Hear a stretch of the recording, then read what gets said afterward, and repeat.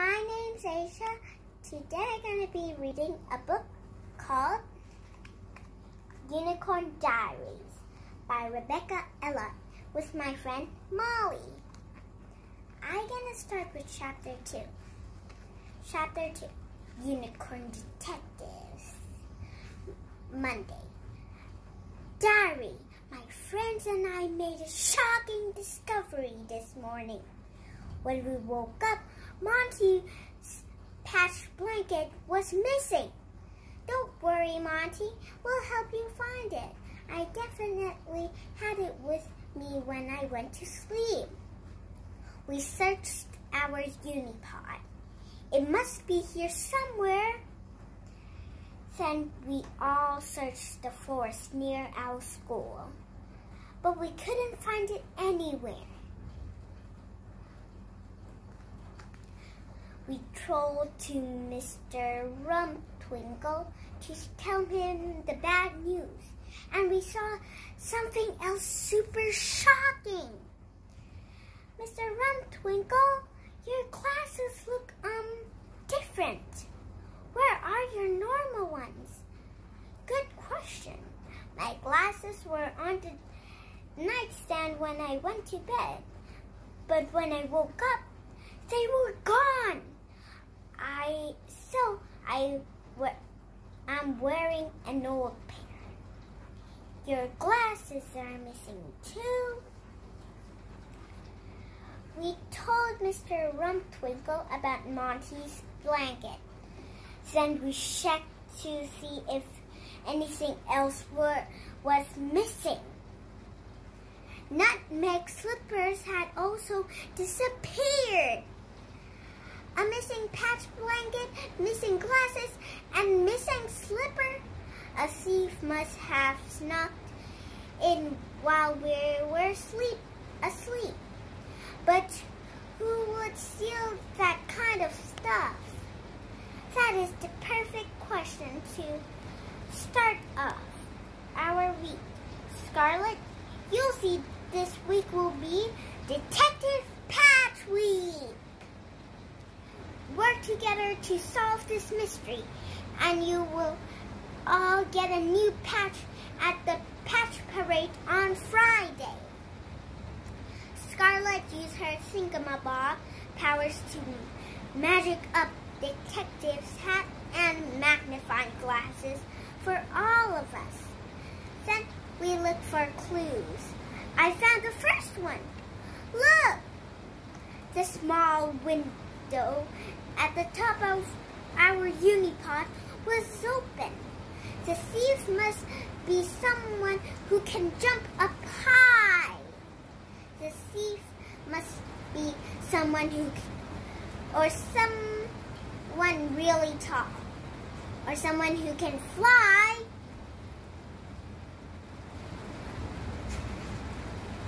Later, Monty found another clue.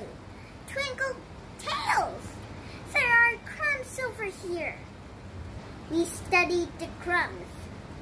Which kind of creature eat carrots? We studied our magical creatures book while, while we ate lunch. Carrots are orange. Orange is the color of fire. And who eats fiery colored foods? Dragons!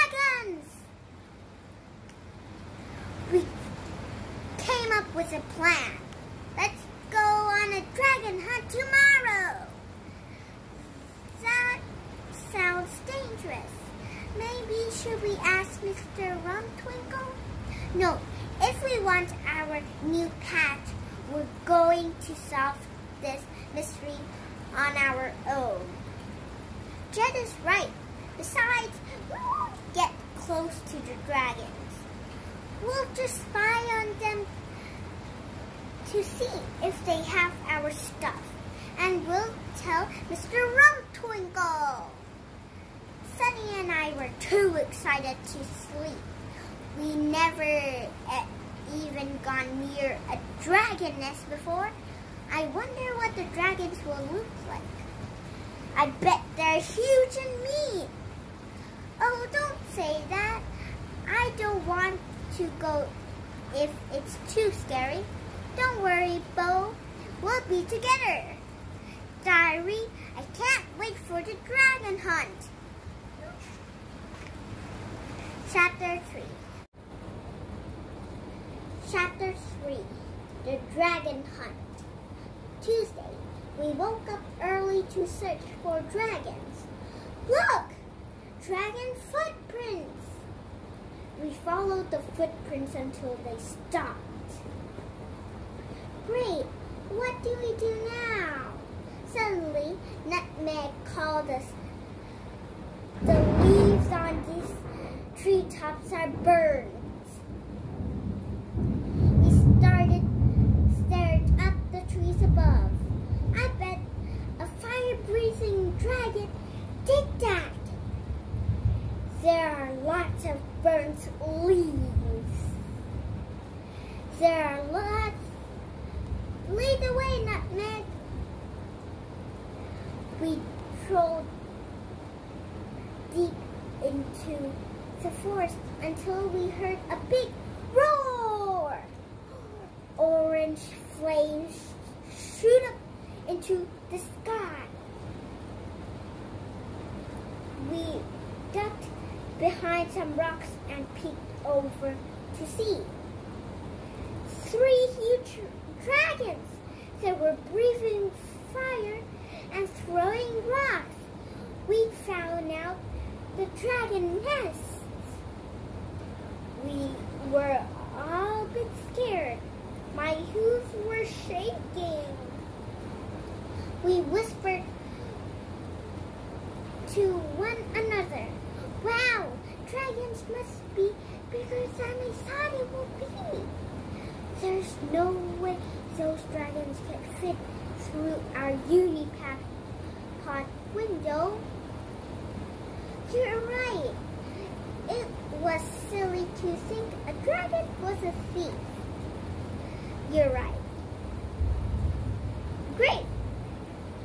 Can we go home now? Okay, let's go home. As Jed was leading the way home, Piper yelled and leaped into the air. Eek! What's wrong, Piper? Someone pulled my tail. We looked around. There's no one else here. Maybe you're just feeling jumpy after seeing those dragons. Dragons. I know somebody pulled my tail. We kept trolling through the forest, but soon more strange things happened. A big bunch of fleas flew into Monty's face. Ah! Who threw those at me? Heard giggling in the trees above.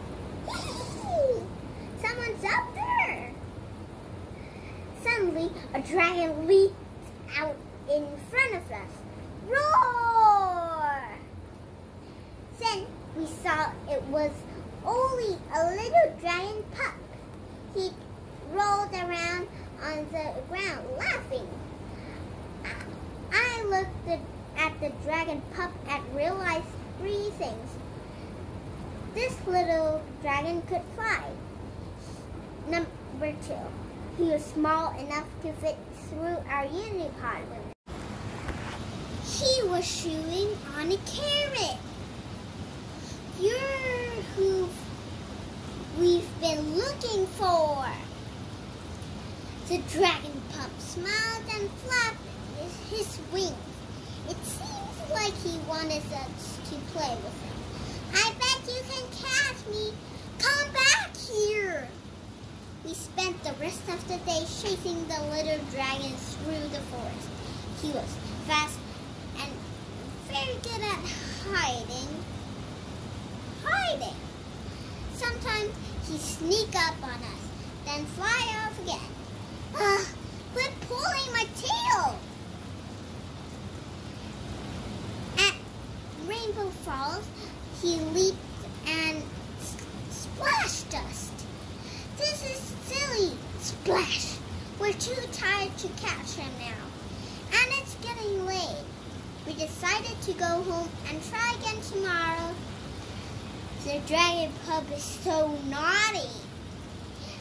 He is, but what if he's not the thief? Huh? Well, we would a dragon pup want ours? Well, why would a dragon pup want our stuff? Hmm, I'm not sure. Let's rethink all of our clues.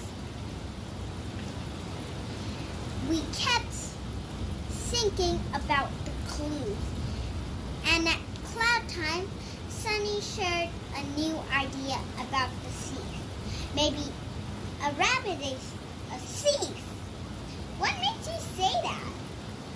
We found carrot crumbs and rabbits love carrots. They can jump high too. But we saw the dragon pup eating a carrot today.